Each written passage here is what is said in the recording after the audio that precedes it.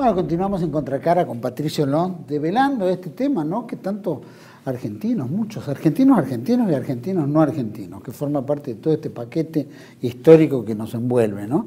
Y que de alguna manera eh, algunos dicen, bueno, pero tendríamos que hacer como Inglaterra. Si los ingleses se hubieran quedado en las invasiones inglesas estaríamos prósperos. Es decir, prioriza más lo económico que otra serie de valores. ¿Eso qué es? ¿Un mal marketing? ¿Buen marketing? Sí, eh, nosotros no hemos sabido uh, defender nuestra historia y nuestra tradición, porque el problema es que en 1810, 1816 ganaron, eh, ganó la banca inglesa, que es la que se quedó con, la riqueza de Sudamérica, ¿no es mm. cierto? Vos pensás que 1824 es la última batalla en Ayacucho, y en 1825 todos los nuevos estados que no existían antes, mm. cuando te dicen San Martín liberó Argentina, Chile, Perú, no, no eran estados preexistentes. Éramos un estado que quedó fraccionado y después quedó fraccionado entre más. Bolivia, Paraguay y Uruguay. Y después, además, Guinea y además Ecuador. Entonces, en realidad fue un desbarajuste. Eh, en realidad ganaron aquellos que estaban enganchados con el contrabando inglés. Entonces ellos son los que fabrican una historia. Acá, y lo mismo pasó en Perú, y lo mismo, olvídate, también en México, en Centroamérica, donde además vos tenés lo siguiente. Por un lado, fíjate que los aborígenes se sumaban a los ejércitos realistas, pero de forma voluntaria. Este, San Martín, ¿te acordás que tenía un problema con los pehuenches allá en el sur? Él le daba, a mí me llamaba la atención de chico, decía, claro, que él le daba información equivocada a los indios eh, y hacía otra cosa. Él decía, si mi almohada supiera lo que voy a hacer, la quemaría. Y era, ¿por qué cuernos los indios estaban a favor del rey? Y después te dicen por ahí eh, algún historiador que está de moda dice, eh, acá nos levantamos contra tres años de, yugo y suplicio, y entonces decime por qué la revolución la organizaron los hijos españoles, y algunos españoles, o sea, eran todos españoles étnicos, y el ejército realista lo formaban los indios, los negros, este, el mestizo, los gauchos. Indios. Pero muchísimos, tenés generales eh, que eran indios, y después tenés generales realistas como Olañeta, este, Pío Tristán, eh, y como se llama también el que ganó en Huaki y ahora se me, se me escapó, Goyeneche. Todos eh, eran todos americanos. Mm. Olañeta y Goyeneche además tienen sangre, sangre india, ¿no es cierto? Y esa gente, los descendientes incluso saben cuál fue la gesta de su gente. Por eso cuando vos decís eh, españoles, tenemos que ser españoles o, eh, ingleses. Vamos a aclarar a la gente porque a veces eh, se confunde. No hablamos de España Estado, ¿no es cierto? Mm. Hablamos de, España con cultura. Ah. Y en realidad este, hay que entender que antes de la independencia, salvo en Buenos Aires, que se generó justamente por ese contrabando pro-inglés que la gente se empezó a perjudicar, pero en el resto de América se veía mucho mejor en América que en Inglaterra, mm. Francia, Alemania, ni hablar de Rusia. Pero este, es más, Alexander von Humboldt, ¿te acuerdas ese suerte de Marco Polo alemán que se la pasó, investigando acá, eh, que encuentra mm. el Orinoco y el Amazonas, donde se juntaban, etcétera, que hizo muchos viajes por Venezuela, pero en realidad es un relevamiento del mundo hispánico. y Humboldt incluso era mm, luterano, es decir, él no tenía ninguna simpatía por el mundo español. Y él dice, no veo pueblos más felices que los gobernados por España, y, empieza a hacer análisis económico. Dice, un trabajador rural o minero, trabajador, no estamos hablando de que era el empresario, el dueño del campo, el trabajador gana entre cuatro y siete veces más que un, eh, su homólogo alemán, francés o inglés.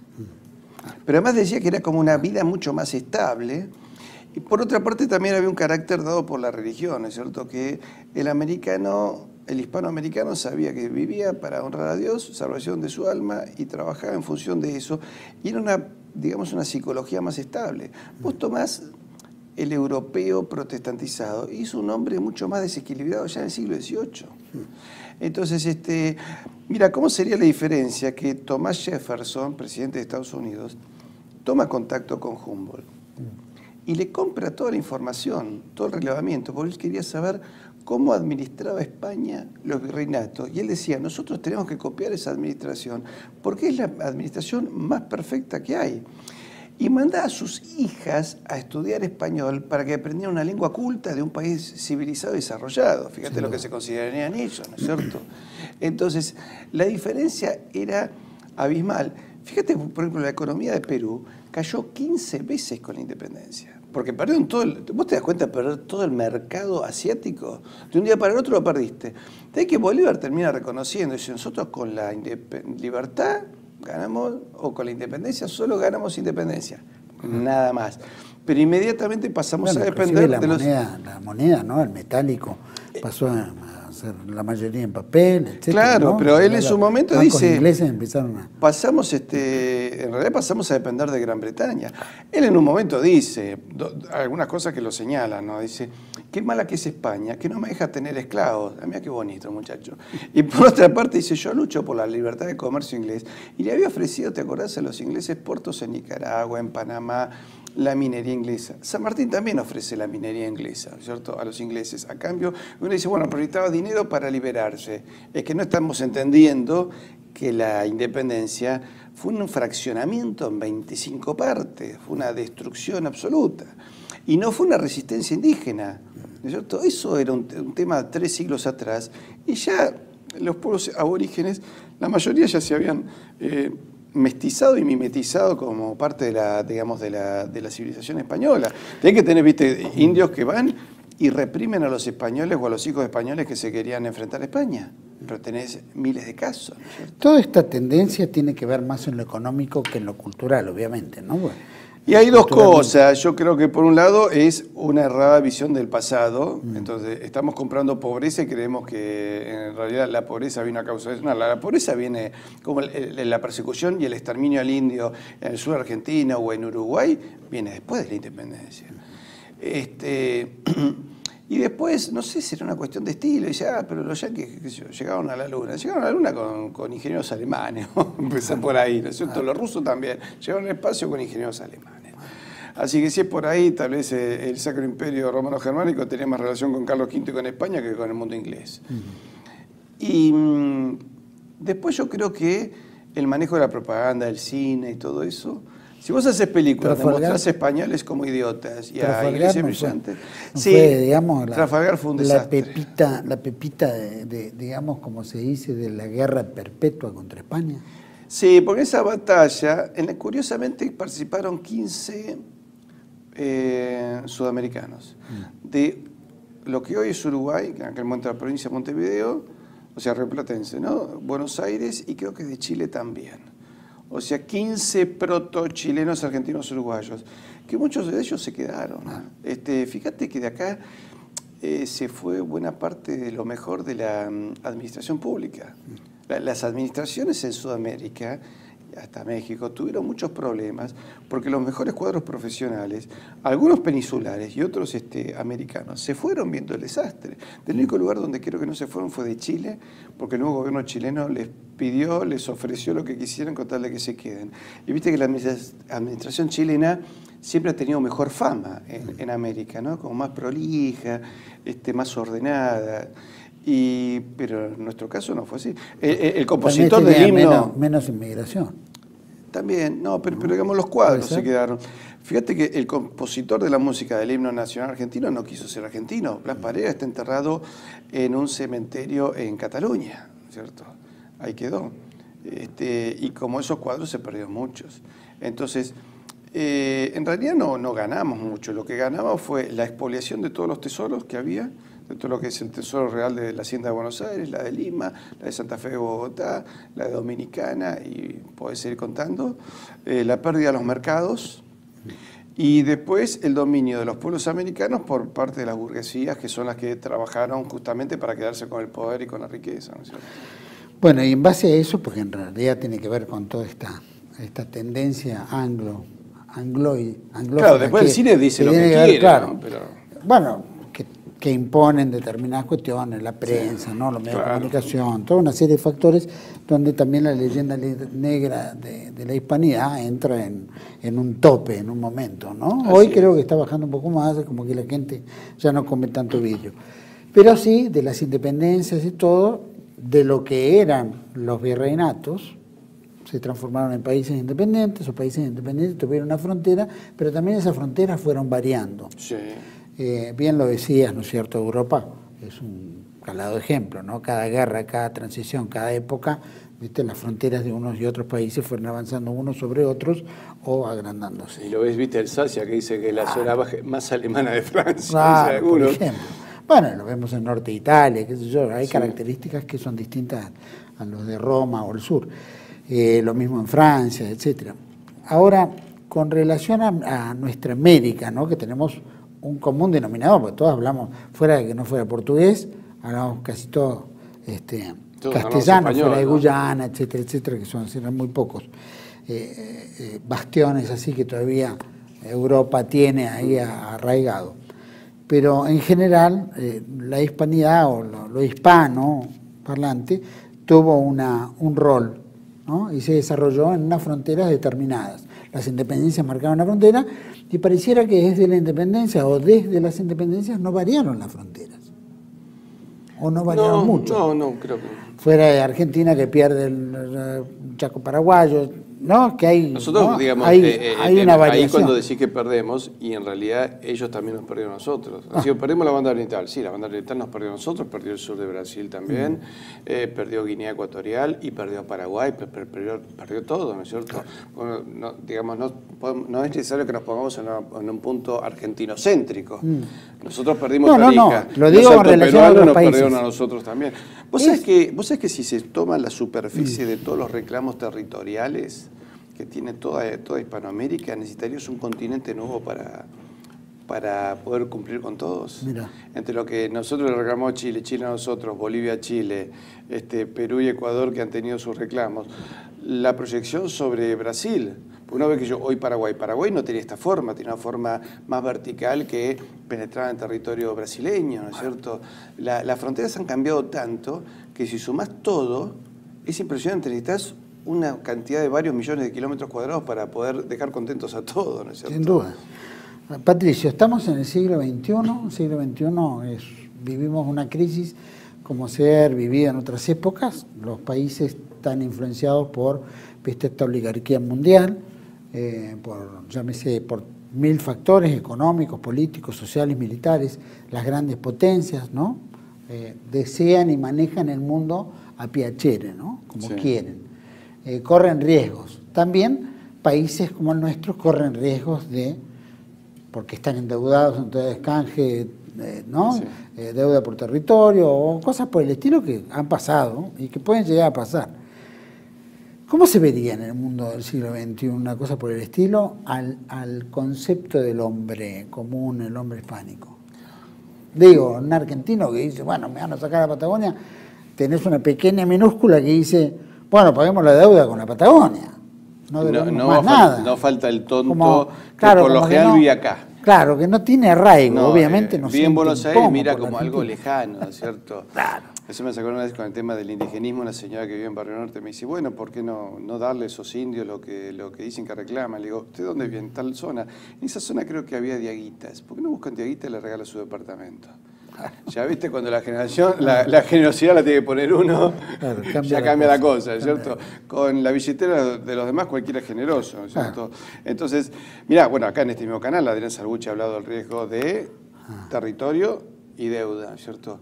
Y, a ver, de hecho me parece que hemos entregado ya nuestra soberanía en Mar Argentino, mm. la Antártida, y en la Patagonia habría que ver la cantidad de empresas extranjeras, quién, quién se queda con vaca muerta, quién se queda con la minería, quién se queda con los pules de siembra. ¿no es cierto? Si vos sumás todo eso, prácticamente no tenés soberanía sobre tus recursos naturales. No tenés soberanía del Banco Central, donde había creo que hasta una agencia de Barclays Bank vigilando los bonos de la deuda. Tenías, qué te queda? El idioma. Y el idioma te lo están destruyendo ahora con la estupidez esta de la X, la letra E, donde parecen todos oligofrénicos hablando. Entonces, ¿cómo se vería? Yo creo que el argentino ha perdido sentido de, de identidad hace mucho, ¿cierto? Entonces, eh, cuando nosotros hablamos del legado español, que uno me dice, ¿por qué usted quiere entregarle el país a España? primero, yo no puedo entregarle nada a nadie este, porque no tengo ninguna autoridad ni ningún poder. Segundo, no creo que España quiera hacerse cargo de los problemas nuestros. Tercero, sí creo que la única manera que nosotros tenemos de enfrentar los conflictos del siglo XXI, donde las grandes potencias van a jugar muy duro, mm. tenemos, Marcelo Gullo lo dijo acá mismo, ¿no? una ventana de 20 años eh, que va a ser lo que va a durar la definición si va a gobernar, va a ser más fuerte China o va a ser más fuerte Estados Unidos. Y son 20 años donde los pueblos hispánicos tenemos que acelerar una complementación de nuestras fuerzas, nuestras capacidades, y tal vez tenemos que ser menos países, eh, reunificar tal vez lo que era el antiguo virreinato del Perú, una, una nación de 150 millones de habitantes, lo mismo tendría que pasar en el Caribe, ¿no es cierto? De tal manera de ser mucho más fuertes.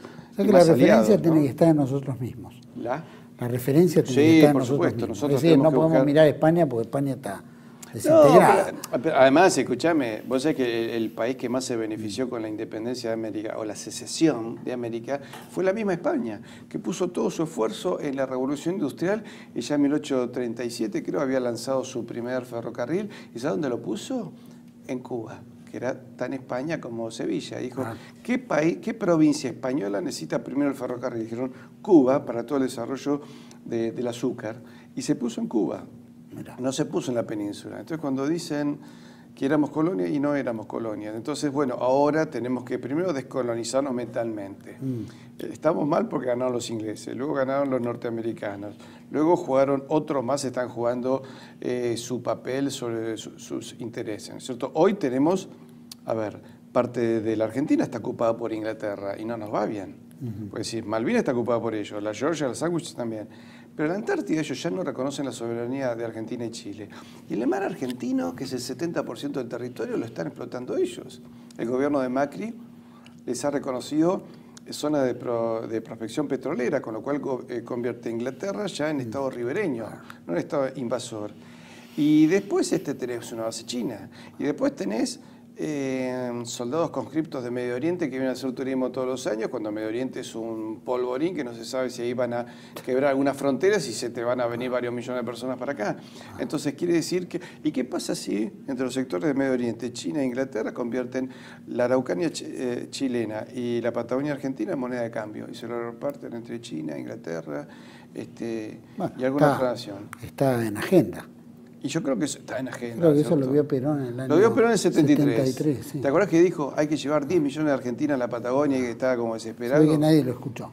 No, y venía de, lejos, porque él una vez estando en Madrid se le, se le escapó una frase diciendo que él cuando era presidente quería hacer una obra pública. Si la quería hacer en el norte, se hacía. Cada vez que la quería hacer en la Patagonia, en algún punto de la administración se trababa y tenían que caminar todo el espinel hasta encontrar dónde se había trabado. Probablemente eran los, los anglófilos. Y alguien estaría trabajando ahí para, para, trabar en algún la lado. La masonería y todo. Patricio, ¿cómo, cómo ves el, la, la Hispanoamérica del siglo XXI ahora avanzando para adelante? ¿Ves cómo como que vamos a encontrar un camino común, que esto se desmadra? ¿Cómo, a ver, lo ves? Por un lado yo creo que hay mucha gente que está tomando conciencia que somos 700 millones de hispanoparlantes y alguna vez Alberto Huela en una conferencia que dio en España dijo tenemos que sumar a Filipinas, que, las lenguas filipinas se parecen al español, mm. tenemos que sumar al mundo lusitano, que siempre han sido como los serviles del mundo anglosajón, pero no, no, no, les va a servir de mucho en el futuro. Y ahí estamos hablando de 900 millones de personas, ¿cierto? Entonces, todos juntos, si tomamos conciencia de eso, si tomamos conciencia que Estados Unidos va a necesitar un aliado hispánico fuerte y que el sur de Estados Unidos es muy español y que ese sur tiene que ser el puente entre los intereses de ellos y los nuestros, y ahí tendremos una posibilidad de sumar muchos esfuerzos y frenar posiblemente el aluvión chino o habrá que ver qué pasa con el, con el Islam. Si no se hace, terminaremos fragmentados y en vez de ser 20 países hispánicos vamos a ser 25, nos van a cortar en pedazos, ¿no es cierto? No es muy probable, depende todo de nosotros, no cabe la menor duda. Sí, estamos, también a veces pareciera que estamos más ante el juicio de las naciones, ¿no? Pero si estamos ante el juicio de las naciones, creo que tenemos que dar testimonio, tenemos que luchar porque de alguna manera nuestros pueblos, no nuestros gobiernos, pero los pueblos nuestros han, han dado un grito en la historia, ¿no? Lo vemos en la guerra de Malvinas, como, como Argentina y la cantidad, no todos, pero la cantidad de países hispánicos que nos ofrecieron ayuda, que lamentablemente no la pudimos recibir o no se concretó, pero este, estaba, estaba ahí, la semilla estaba clarita. ¿Te acordás? El teniente Esteves, antes de morir en combate, le mandan una carta a su padre diciendo, papá, gracias por hacerme argentino, católico de sangre española. Y eso lo vieron los anglosajones, de ahí que, creo que el nieto de Churchill dijo en la Cámara de los Comunes a los argentinos hay que hundirnos en el fango de la vergüenza después de la guerra de Malvinas. Y de ahí la reforma educativa, donde la leyenda negra, que no tenía cabida en la Argentina, se empieza a implementar. ¿No es cierto? Ahí demuestra, ahí demuestra que todavía hay gotas de sangre. Ahí tenés lo que dijo Perón, que si a nosotros nos derrocan después de la dictadura va a haber una democracia, pero va a ser una democracia al servicio de los intereses extranjeros. Se le cumplió lo que había advertido. Y bueno, será cuestión de acá de rezar mucho, trabajar mucho, divulgar mucho y ver si desde el subsuelo de la patria se subleva a alguien y aparece un criollo a mandar a estas tierras. Patricio, muchísimas gracias. Este, creo que ha sido muy rico esta entrevista, cortita y al pie. Gracias. Gracias a vos por invitarme. A todos ustedes, por supuesto, merece una pequeña aclaración. ¿no? Eh, entre los argentinos argentinos, que son los argentinos que ya tienen cierta tradición o que ¿no? mamaron la tierra o se sienten identificados, con los argentinos no argentinos, que son todos estos que de alguna manera aspiran al dinero, son materialistas, y le importa bledo la cultura, la formación, etcétera, lo que les interesa es el bienestar.